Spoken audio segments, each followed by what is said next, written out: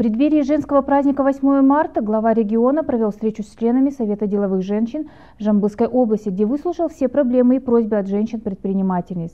На собрании присутствовали директор НПП «Атамикен», руководители управлений и представители СМИ.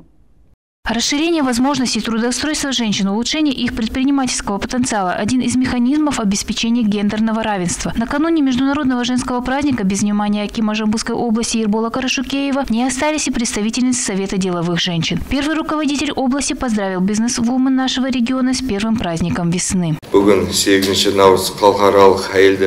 Я рад, что встречаюсь с представительницами Совета деловых женщин в преддверии Международного женского дня 8 марта. От всей души поздравляю вас с первым праздником праздником весны, Международным женским днем. Женщины-предприниматели во главе с вами активно участвуют в развитии экономики региона. Совет деловых женщин играет особую роль в развитии предпринимательства в области. В свою очередь, представительницы Совета деловых женщин рассказали о проделанной работе в рамках Центра развития женского предпринимательства, выразили благодарность за имеющуюся поддержку, а также поделились своими проектами и предложениями по дальнейшему развитию женщин в бизнесе и озвучили ряд своих проблем. Совет деловых женщин и Центр развития женского предпринимательства правительства при РПП «Атамикен» организовали программу менторства, в рамках которой два опытных предпринимателя стали наставниками для женщин-предпринимательниц. Мы убеждены, что менторство – это мощный инструмент для развития роста предпринимательского потенциала женщин. Качественная работа в области женского предпринимательства в регионе еще больше повысит возможности и инструменты женщин. Признавая растущую роль бизнес-вумен в экономике, государством проводится ряд мероприятий, направленных на поддержку женщин, желающих попробовать себя в предпринимательской среде.